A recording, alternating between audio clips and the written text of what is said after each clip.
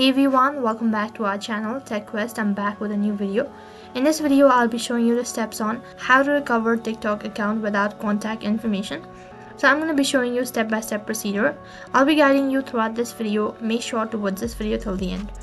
So in order to recover your TikTok account without your contact information, what you need to do is you need to open up your web browser. You can use any web browser that is convenient for you.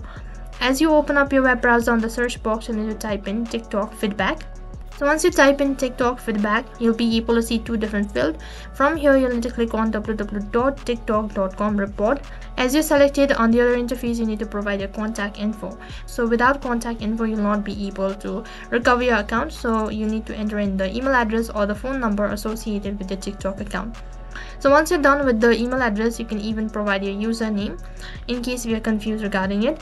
And then you'll need to select the topic for what purpose you're contacting a customer service. And after that, you also need to describe the issue. You can detailedly describe your issue or you can briefly describe about the issue, why you're not able to recover your account. And once you've done that, you can also provide a file that shows the evidence that you're not able to recover your account.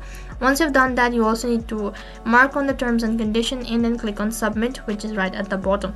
Once you're done submitting it, it will take 5 business days in order to respond via email, so you have to wait patiently until 5 days and then you might be able to recover your account. And that is how you can recover TikTok account without contact information. That is all for this video. I hope the video was helpful. Make sure to like, share and subscribe to our channel. Thank you for watching.